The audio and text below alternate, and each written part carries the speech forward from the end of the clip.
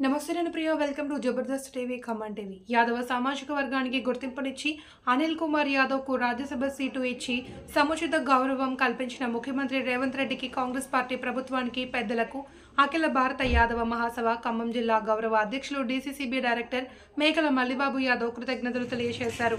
ఖమ్మం జిల్లా అఖిల భారత యాదవ మహాసభ కార్యక్రమంలో అనిల్ కుమార్ యాదవ్కు రాజ్యసభ టికెట్ ఇచ్చినందుకు కాంగ్రెస్ పార్టీకి ప్రభుత్వానికి కృతజ్ఞతాపూర్వక సమావేశం జరిగింది. సమావేశంలో మల్లిబాబు యాదవ్ మాట్లాడుతూ బీఆర్ఎస్ ప్రభుత్వం గొర్రెలు ఇస్తానని యాదవ్లను కురువులను కోటీశ్వరులను చేస్తానని అభివృద్ధి చేస్తానని వాగ్దానాలు చేయడం వల్ల కురుమ యాదవులు బీఆర్ఎస్ ప్రభుత్వాన్ని గెలిపించారని ఏరు దాటాక తెప్ప తగిలేసినట్లుగా రాష్ట్రంలో దాదాపు యాభై లక్షల మంది యాదవ కురుముల జనాభా కంటే కేవలం మూడు లక్షల మందికి గొర్రెలను ఇచ్చి చేతులు దులుపుకుని డీడీలు కట్టించుకుని మిగతా వారికి గొర్రెలను ఇవ్వకుండా మోసం చేశారని ఆరోపించారు. రాష్ట్ర స్థాయి నామినేటెడ్ పోస్టుల్లో ప్రాతినిధ్యం కల్పించాలి అని డీడీలు కట్టిన లబ్ధిదారులకు కాంగ్రెస్ ప్రభుత్వం న్యాయం చేయాలి అని వక్తలు కోరారు. కార్యక్రమంలో నాయకులు దుబాకుల వెంకటేశ్వర్లు బమ్మిడి శ్రీనివాస్ సత్తి వెంకన్న చేతుల నాగేశ్వరరావు జోనబోయిన పాపయ్య గూదే భద్రయ్య రాచబంటి రవి పొదిల పెద్దపాపారావు కాల్వ నరసింహారావు పొదిల నరేష్ చింతల ఉపేందర్ పొదిల భిక్షం తదితరులు పాల్గొన్నారు.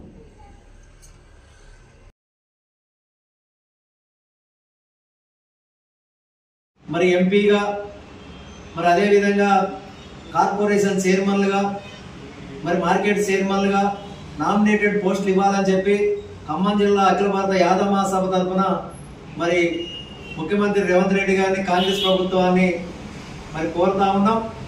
మరి గత ప్రభుత్వం కుర్మ యాదవుల్ని మరి గుడులు ఇస్తా అని చెప్పేసి లక్షాధికారులు చేస్తా అని చెప్పి మోసం చేశారు.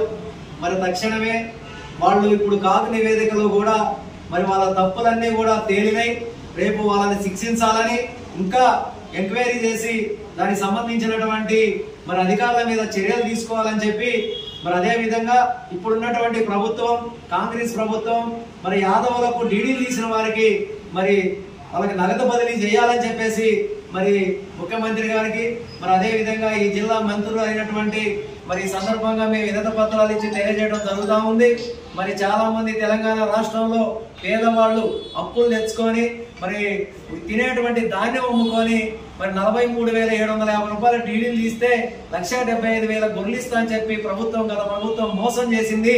గొర్రెలు ఇవ్వకపోయినా మాకు నగదు బదిలీ చేసి కుర్మ యాదవ్ని ఆదుకోవాలని చెప్పేసి ఈ సందర్భంగా మరి తెలియజేసుకుంటూ మరి ఇంకా యాదవ్లు ఈ ఈ తెలంగాణ రాష్ట్రంలో మరి చూసుకుంటే మరి గత ప్రభుత్వం నిండు చట్టసభల్లో యాభై లక్షల మంది యాదవులు ఉన్నారని చెప్పారు.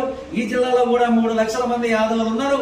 మరి యాదవుల గుర్తించి మరి ఏదైనా ప్రభుత్వ పరంగా మరి ఎమ్మెల్సీ కానీ మరి ఎంపీ ఇప్పుడు ఇప్పుడు ఎంపీ రాబోతా ఉన్నాయి. మరి ఎంపీ అయినా యాదవ్లకి ఇవ్వాలి. మరి అదేవిధంగా నామినేటెడ్ పోస్టులలో ఇవ్వాలి. కార్పొరేషన్ చైర్మన్లలో కూడా కల్పించాలని చెప్పేసి ప్రభుత్వాన్ని ఖమ్మం జిల్లా అఖిల భారత యాదవ మహాసభ తరఫున కోరుతా ఉన్నాం.